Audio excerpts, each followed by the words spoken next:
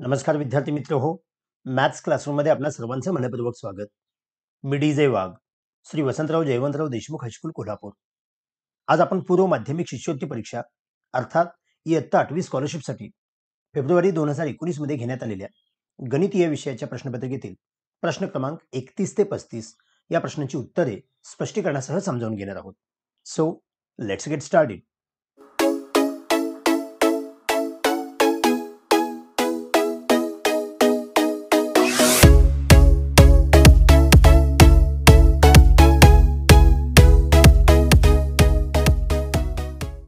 okay students first question काय पहा.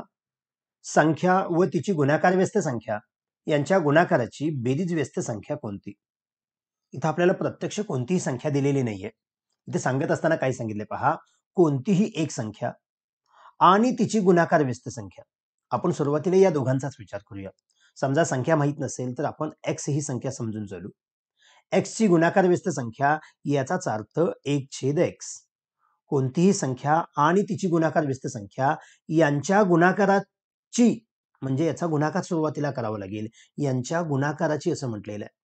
ज्यावेळी आपण दोन गुणाकार व्यस्त संख्यांचा गुणाकार करतो त्यावेळी तो गुणाकार एक येत असतो. कारण या एक्सला एक्स जातो. जेव्हा गुणाकार एक येतो तेव्हाच त्यांना आपण गुणाकार व्यस्त संख्या असं म्हणतो. म्हणजे त्यांच्या गुणाकाराची याचा अर्थ एकची. एक या संख्येची बेरीज व्यस्त संख्या कोणती? बेरीज व्यस्त संख्या याचाच अर्थ विरुद्ध संख्या. मग एकची विरुद्ध संख्या म्हणजेच वजा एक कारण ज्या दोन संख्यांची बेरीज शून्य येत असते त्यांना आपण एकमेकींची विरुद्ध संख्या म्हणजेच बेरीज व्यस्त संख्या असं म्हणतो. म्हणजेच एकची विरुद्ध संख्या वजा एक म्हणून इथं पर्याय क्रमांक दोन आपल्याला सांगायला हवा. गुणाकाराची म्हणजेच एकची बेरीज व्यस्त संख्या वजा एक असा याचा अर्थ होतो. नेक्स्ट क्वेश्चन काय पहा. एका कोणाचे माप त्याच्या पूरक कोणाच्या मापाच्या एक छेद चार पट आहे. तर त्या कोणाच्या कोटी कोणाचे माप किती? आपल्याला जो कोण दिलेला आहे त्याच्या कोटी कोणाचं माप विचारलेलं आहे. त्यासाठी सुरुवातीला काही सहसंबंध सांगितला आहे तो सुरुवातीला विचारात घेऊ. आपल्याला असं सांगितलंय की त्या कोणाचं माप त्याच्या पूरक कोणाच्या एक छेद चार पट आहे. म्हणजे याच्या आधारे आपण असं म्हणू शकतो समजा दिलेला हा कोण आहे याचं जे माप आहे ते माप म्हणजेच त्या कोणाचा जो पूरक कोण असेल त्या पूरक कोणाच्या एक छेद चार पट म्हणजे पूरक कोणाला एक छेद चारनं गुणलं की तो कोण मिळतो? अशा वेळी आपण हा जो छेद चार आहे म्हणून पूरक कोण हा चारच्या पटीमध्ये संख्या मानूया. म्हणजे जर आपण पूरक कोण हा चार एक अंश मापाचा मानला तर चार एक्सचा एक चतुर्थांश जर घेतला तर आपल्याला एक अंश उत्तर मिळतं म्हणजे तो कोण एक अंशाचा मिळतो. म्हणजे पूरक कोण जर चार एक अंश मापाचा असेल तर तो कोण हा एक अंश मापाचा होतो. ज्यावेळी आपल्याला एखादा कोण आणि त्याचा पूरक कोण दिलेला असतो त्यावेळी आपण असं म्हणू शकतो की दोन पूरक कोणांच्या मापांची बेरीज ही एकशे ऐंशी अंश असते. याचाच अर्थ एक्स अधिक चार एक्स म्हणजे दिलेला कोण आणि त्याचा पूरक कोण यांच्या मापांची बेरीज एकशे ऐंशी अंश होणार. म्हणजेच पाच एक्स बरोबर एकशे ऐंशी आलं म्हणजे एक्स शोधत असताना हा एकशे ऐंशी भागिले पाच होईल. म्हणजेच पाच एके पाच पाच त्रिक पंधरा उरले तीन म्हणजे तीस झाले पाच संघ तीस म्हणजे एक्सची किंमत छत्तीस मिळाली. याचाच अर्थ तो जो कोण आहे तो आपल्याला छत्तीस अंशाचा मिळेल असा त्याचा अर्थ झाला. परंतु आपल्याला असं विचारलेलं आहे तर त्या कोणाच्या कोटी कोणाचे माप किती? मग कोटी कोण शोधत असताना ज्या दोन कोणाच्या मापांची बेरीज नव्वद अंश येते त्याला आपण परस्परांचे कोटी कोण म्हणतो. म्हणजे छत्तीस अंश मापाच्या कोणाचा जर कोटी कोण शोधायचा असेल तर आपल्याला नव्वद मधून छत्तीस कमी करावे लागतील. म्हणजेच दहा वजा सहा चार हातचे परत दिले. नऊ वजा चार पाच म्हणजे छत्तीसचा कोटी कोण हा चोपन्न अंश मापाचा असेल जो आम्हाला पर्याय क्रमांक तीन दिलेला आहे. म्हणजे दिलेला कोण आणि त्याचा पूरक कोण यांच्यामध्ये सहसंबंध दिलेला होता. त्याच्या आधारे पूरक कोण आपण इथं छेद चार आहे म्हणून चार एक्स मानले. ज्याच्या आधारे कोण हा आपल्याला एक एक्स मापाचा मिळाला. त्यांची बेरीज एकशे ऐंशी अंश असते हा नियम आपल्याला माहीत आहे. याच्या आधारे आपण एक्स म्हणजेच तो कोण शोधला आणि त्या कोणाच्या आधारे त्याचा आपण कोटी कोण शोधला. नेक्स्ट क्वेश्चन काय पहा? आमिरने दोन हजार रुपयांच्या जितक्या नोटा बँकेत भरल्या तितक्याच नोटा एक हजार व दोनशे रुपयांच्या भरल्या. जर त्याने एकूण रक्कम सोळा हजार रुपये बँकेत भरली असेल तर त्याने भरलेल्या नोटांची एकूण संख्या किती? अतिशय साधा प्रश्न आहे पहा. आपल्याला काय सांगितलंय की दोन हजार रुपयांच्या जितक्या नोटा आहेत त्या नोटांची संख्या म्हणजेच एक हजार रुपयांच्या नोटांची संख्या म्हणजेच दोनशे रुपयांची नोटांची संख्या. जर नोटांची संख्या समान असेल तर आपण ती संख्या इथं कन्सिडर करूया. म्हणजे समजा आपण असं म्हटलं की दोन हजार रुपयांच्या एकूण एक्स नोट आहेत. तर याचाच अर्थ एक हजार रुपयांच्या सुद्धा एक्स नोट आहेत. याचाच अर्थ दोनशे रुपयांच्या सुद्धा एक्स नोट आहेत. व तुम्ही ह्या तिघांची एकत्रित बेरीज करून त्याच्या आधारे किंमत शोधू शकता किंवा आपण असं म्हणू शकतो की दोन हजार रुपयांच्या एक्स नोटा नोटांची किंमत गुणिले नोटांची संख्या जर या दोघांचा गुणाकार केला तर त्यातून मिळणारी एकूण रक्कम मिळेल. दोन हजार रुपयांच्या एक्स नोटा म्हणजेच दोन हजार एक्स एवढी त्याची किंमत झाली. त्याच पद्धतीनं एक हजार रुपयांच्या एक्स नोटा म्हणजे एक हजार एक्स एवढी त्याची किंमत झाली. सेम वे दोनशे रुपयांच्या एक्स नोटा म्हणजे दोनशे एक्स एवढी त्याची किंमत झाली. म्हणजे एकूण किमतीचा जर आपण विचार केला तर दोन हजार अधिक एक हजार अधिक दोनशे म्हणजे बत्तीसशे एक्स एवढी त्याची किंमत होईल. परंतु आपल्याला असं सांगितलेलं आहे की एकूण रक्कम बँकेमध्ये सोळा हजार रुपये भरलेली आहे याचाच अर्थ बत्तीसशे एक्स म्हणजे सोळा हजार असं आपण म्हणू शकतो. म्हणजेच एक्स शोधत असताना हा सोळा हजार भागिले हा बत्तीसशे जो गुणिले होता तो भागिले झाला. या दोन शून्याला या दोन शून्य गेल्या. आपण म्हणू शकतो बत्तीस एके बत्तीस बत्तीसची पाचपट कारण इथं सोळाची दुप्पट आहे. बत्तीसची दहा पट तीनशे वीस येते. म्हणजे पाचपट ही एकशे साठ येईल. याचाच अर्थ एक्स बरोबर पाच आहे. याचाच अर्थ असा झाला की दोन हजार रुपयांच्या पाच नोटा एक हजार रुपयांच्या पाच नोटा आणि दोनशे रुपयांच्या पाच नोटा म्हणजे ज्यावेळी आपण एकत्रित विचार करू त्यावेळी या एकूण नोटा या तीन एक्स असतील. म्हणजेच तीन गुणिले पाच म्हणजे एकूण पंधरा नोटा आहेत असं आपण म्हणू शकतो. जर तुम्हाला या उदाहरणामध्ये एक्स मानायचा नसेल तरी पण आपण असं करू शकतो. दोन हजार रुपयांची एक नोट एक हजार रुपयांची एक नोट आणि दोनशे रुपयांची एक नोट अशा तीन नोटांचा जर आपण एक सेट तयार केला तर याची जी रक्कम तयार होईल ती बत्तीसशे रुपये होईल. म्हणजे एका सेटची किंमत बत्तीसशे रुपये. असे किती सेट होतात ज्याची किंमत सोळा हजार रुपये होईल? त्यासाठी आपल्याला सोळा हजार रुपयांना जर बत्तीशेनं भाग लावला तर आपल्याला उत्तर पाच मिळेल. याचा अर्थ तीन नोटांचा एक सेट असे पाच सेट तयार होणार. म्हणजेच आमच्या एकूण नोटा तीन गुणिले पाच पंधरा आहेत असं आपण म्हणू शकतो जो आम्हाला पर्याय क्रमांक दोन दिलेला आहे. नेक्स्ट क्वेश्चन काय पहा. दसादशे आठ दराने अठ्ठेचाळीस हजार रुपये मुदलाचे दीड वर्षाचे चक्रवाढ व्याज किती? आपल्याला इथं चक्रवाढ व्याज विचारलेलं आहे.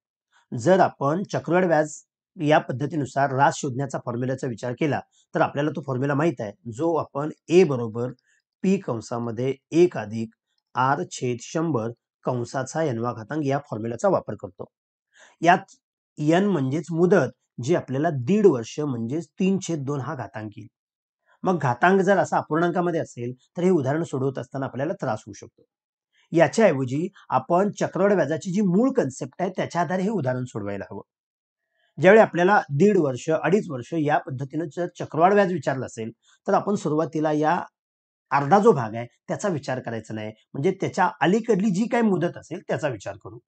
आपल्याला इथून सुरुवातीला एक वर्षाचं चक्रवाढ व्याज शोधूया. परंतु ज्यावेळी आपण एक वर्षाचा विचार करतो त्यावेळी त्याचं एक वर्षाचं सरळ व्याज आणि चक्रवाढ व्याज हे एकच असतं. त्यामुळे एक वर्षाचं शोधायचं आहे म्हणून आपण डायरेक्ट सरळ व्याज शोधूया.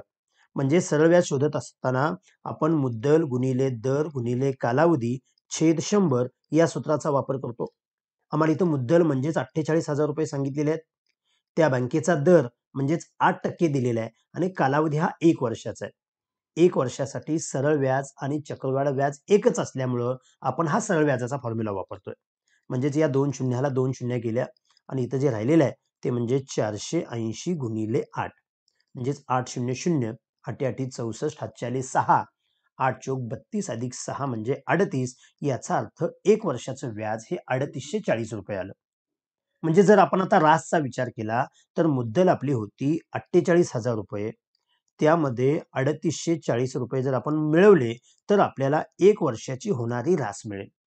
म्हणजेच ह्या तीन शून्य आणि हे आठशे चाळीस ह्याशी आपण आठशे चाळीस लिहू.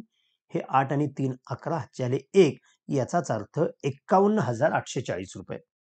जर आपल्याला इथं अडीच वर्षाचं चक्रवाढ व्याज विचारलं असतं तर आपण सुरुवातीला दोन वर्षाचं चक्रवाढ व्याज या सूत्रानं शोधलं असतं. म्हणजे आपण डायरेक्ट रास शोधली असती. म्हणजे सुरुवातीला या अपूर्णांकाचा विचार न करता इतर मुदतीचा विचार करून आपण तिथपर्यंतची रास काढायची.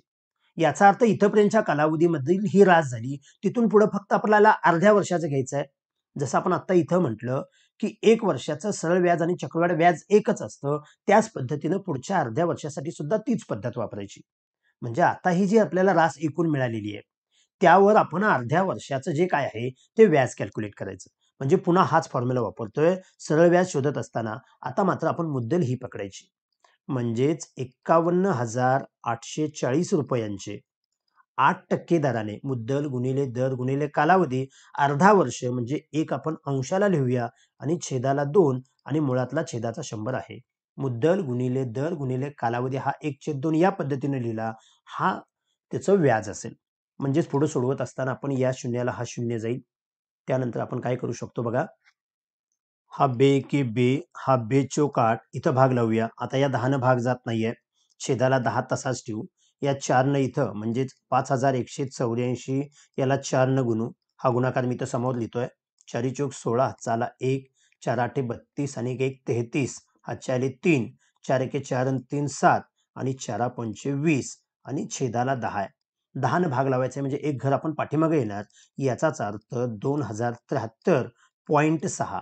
आता पॉईंटच्या पुढे सहा असल्यामुळे अजून एक शून्य देतोय कारण हा रुपये पैशामधला व्यवहार आहे.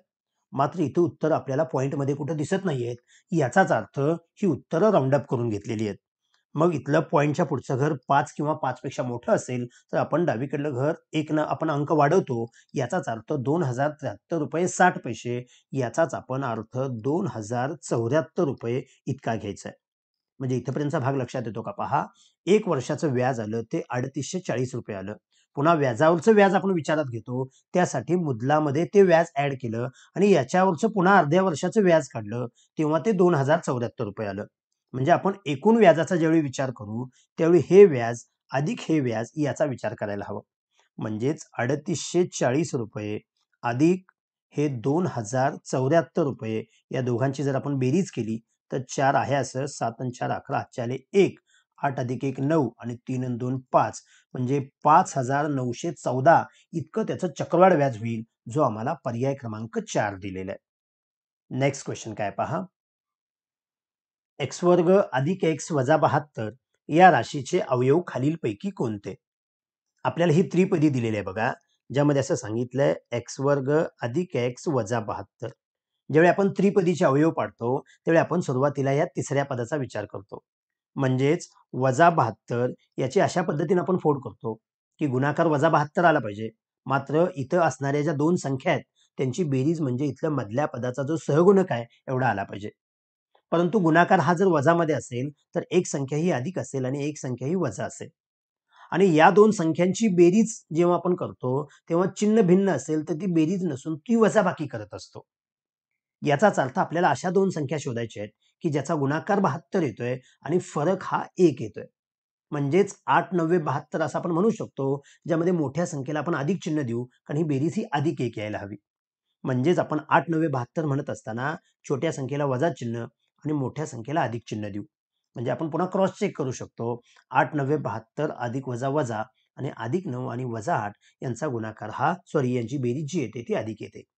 जर आपल्याला या एक्स वर्गला जर सहगुणक इथं नसेल तर आपण याच्या आधारे डायरेक्ट अवयव सांगू शकतो. म्हणजे इथं म्हणू शकतो की हा अधिक नऊ आहे याचाच अर्थ एक्स अधिक नऊ हा एक अवयव असेल आणि हा वजा आठ आहे म्हणजेच एक्स वजा आठ हा एक अवयव असेल. किंवा हीच हेच अवयव जर आपण इथं वापरले तर काय होईल पहा? म्हणजे हे जर उदाहरण सोडवायचं असेल तर एक्स वर्ग अधिक या एक्सच्या ऐवजी आपण नऊ एक्स वजा आठ एक्स या पद्धतीने घेणार. म्हणजे ही फोड इथं वापरतो. आणि हा वजा बहात्तर आहेच. या पहिल्या दोन पदामधून आणि या दोन पदामधून जर आपण सामायिक अवयव घेण्याचा प्रयत्न केला तर या पहिल्या दोघांमधून एक्स हा सामायिक येतो. हा एक्स वर्ग आहे म्हणजे त्यातला एक एक्स बाहेर आला. एक्स गुणिले एक्स म्हणजे एक्स वर्ग झाला. अधिक हा नऊ गुणिले एक्स होता. त्यातला एक्स हा सामायिक आला. म्हणजे नऊ हा असामायिक आला. म्हणजे या दोघातून एक्स सामायिक घेतल्यामुळं एक्स अधिक नऊ हा असामायिक भाग इथं राहिला. जर इथं एक्स अधिक नऊ राहिला राहिला असेल तर इथं सुद्धा एक्स अधिक नऊच राहतो. आपण डायरेक्ट लिहू शकतो. आपण आठ एक्सचा विचार केला तर आठ एक्समध्ये आठ आहे आणि बहात्तरमध्ये सुद्धा आठ नव्हे बहात्तर आठ आहे. म्हणून दोघांमधून आपण आठ सामायिक घेऊया. आणि हे वजा चिन्ह इथं आठवणीने द्यायचं. मात्र हे वजा चिन्ह असताना इथं अधिक आलं कारण वजा अधिक वजा होतो. आता या दोघांचा जर आपण विचार केला तर या दोघांमध्ये एक्स अधिक नऊ हा अवयव सारखा आला मग तो आपण सुरुवातीला घेऊ.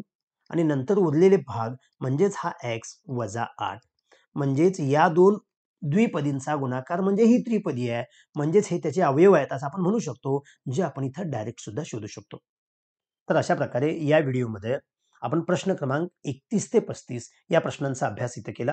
उर्वरित प्रश्न आपण पुढील व्हिडिओमध्ये पाहूया. जर हा व्हिडिओ आवडला असेल तर लाईक करा. इयत्ता आठवी स्कॉलरशिपच्या जास्तीत जास्त विद्यार्थ्यांच्यापर्यंत शेअर करा. आणि चॅनल सबस्क्राईब करायचा राहिला असेल तर आठवणीने सबस्क्राईब करा. थँक्यू